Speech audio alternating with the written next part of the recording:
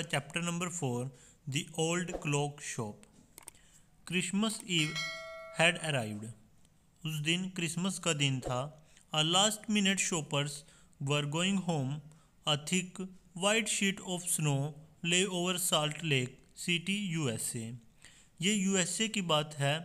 उस दिन बहुत ज़्यादा बर्फ़ पड़ी थी और एक बर्फ़ की एक मोटी परत सड़कों के ऊपर जम गई थी और जो दुकानदार थे, सभी दुकानदार अपने घर की तरफ़ जा रहे थे। Yet the lights were still burning in the old clock shop पर उस रात एक दुकान थी, घड़ी की पुरानी, जिसमें अभी भी लाइट्स चल रही थी। As Ray its old deaf owner worked on a clock he had sold that day उसका मालिक था जो रे वो बहुत ही बूढ़ा था और वो बहरा था, उसे सुनाई नहीं देता था। वह अपनी एक घड़ी पर उस दिन रात को काम कर रहा था जो उसने उसी दिन बेची थी। Having finished his work Ray stood up and was on his way to the neck room when a cold rush of air from the front door hit the back of his neck और अब जो रे था, उसने अपना काम complete कर रही, लिया था और उसकी शॉप में एक छोटा सा रूम था जहाँ वो अपने सारी चीज़ें रखता था। वह जैसे ही कुर्सी पे से उठकर अपने दरवाजे की तरफ़ मुड़ा उस रूम में जाने के लिए, तभी जो उसकी दरवाज़ा था, दुकान का, वो खुला और एक ठंडी हवा का झोंका आकर उसकी पीठ पर, उसकी गर्दन पर लगा और उसने फिर मुड़कर देखा कि कौन आया है। He turn to meet a last minute shopper but his old wise eyes told him that this was not a shopper वह जैसे ही मुड़ा अपने लास्ट कस्टमर से मिलने के लिए तब जब उसने अपने शॉपर को, कस्टमर को देखा तो उसकी आँखों ने और उसके दिमाग ने उसे कहा कि ये जो शॉपर है, वो सही आदमी नहीं है। He saw two man one in his twenties the other closer to fifty उसने दो आदमियों को देखा, जो एक पहला आदमी था, वो बीस साल के लगभग था और जो दूसरा था, वो पचास साल की उम्र का था। The younger man remained at the door जो यंगर था मतलब कि 20 साल का था जो, वो दरवाजे पर ही रुका हुआ था। The older man approach the counter with no sign of friendliness in his eyes और जो दूसरा व्यक्ति था, जो पचास साल का था, वो अंदर आया उसके रे के पास, पर उसके जो आँखें थी, उसमें मित्रता के कोई भी भाव नज़र नहीं आ रहे थे कि वो प्यार से बात करने वाला व्यक्ति है। Was able to hide his growing fear as he slowly pushed a note pad and a pencil across the counter जो रे था, उसने अपने डर को छुपाया और बड़ी ही आराम से जो नोट पैड था उसके पास और जो पेंसिल थी, उसने उसकी तरफ़ सरका दी।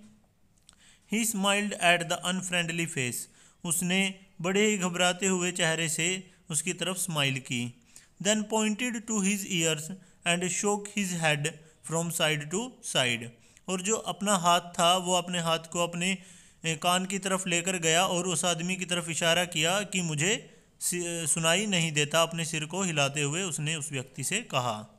A quick look of surprise change the man's face as he studied the note pad then turn and said something to his friend और जैसे ही उसने ये सब देखा, उसे पता चला कि इसकी, उसे सुनाई नहीं देता।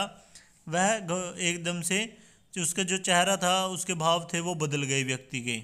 और उसने अपने दोस्त की तरफ़ देखा और उसे कुछ इशारा किया। Ray use the chance to look closely at the man.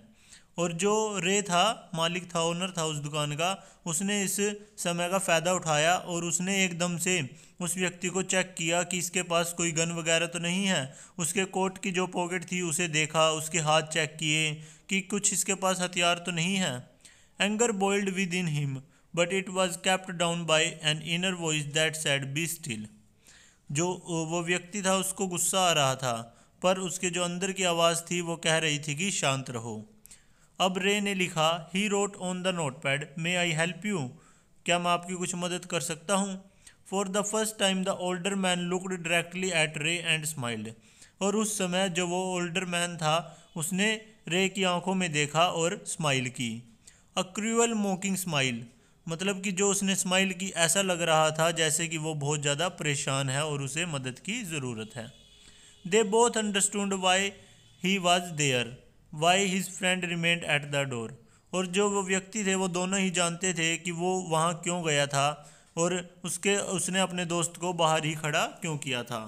They looked like man who were down on their luck and were now ready to try something they would later be sorry about अब उसे, जो व्यक्ति था, उसे ऐसा समझ आ गया था कि जो इसकी किस्मत है, वो ख़राब है और इसके, इसको बहुत बुरा लग रहा है, जो अब ये करने जा रहा है उसके लिए, पर इसके लिए वह मजबूर है और इसे वह करना ही पड़ेगा। वह रे था जो वो ये सब बातें समझ चुका था।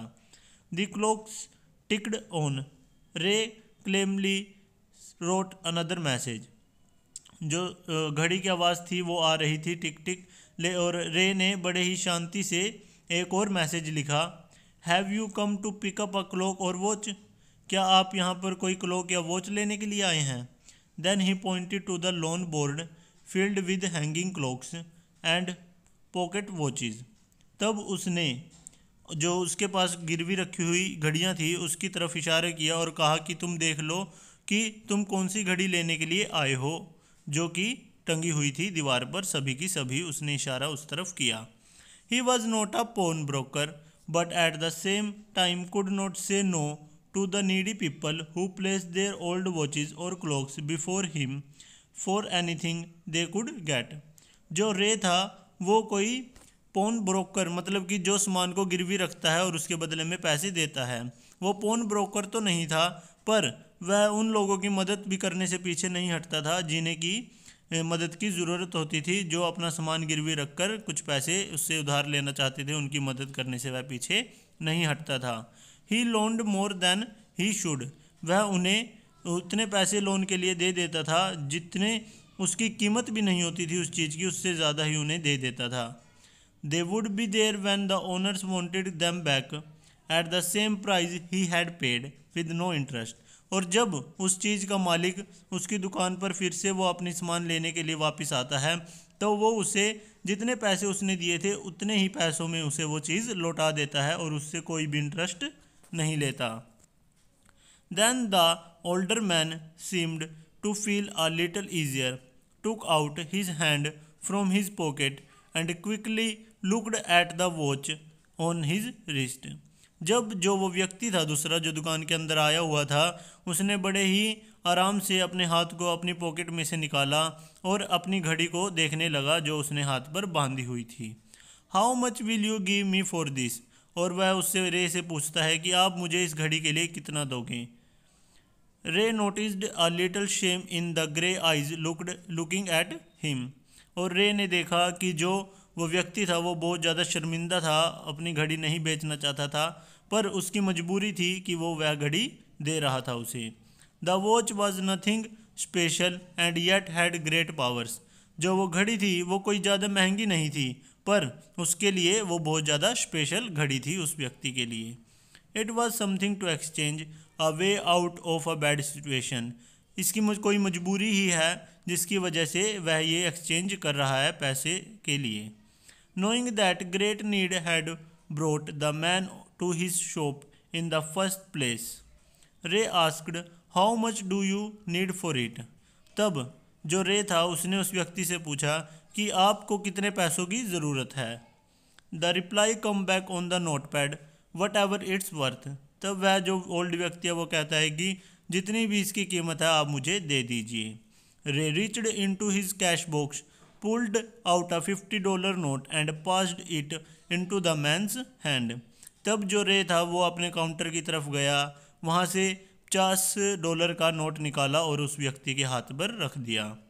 As they shook hands Ray looked into the man's eyes they seemed to say thank you तब जो वो व्यक्ति था, जिसको वो पैसे दे रहा था, उसके जो हाथ थे, वो काँप रहे थे।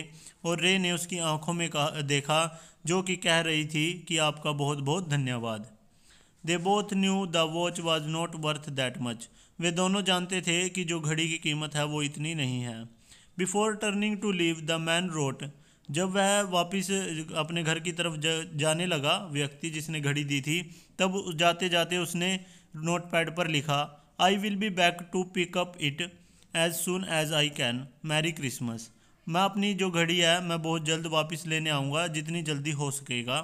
और merry Christmas. The little story ended on the half hour with the clocks striking all together.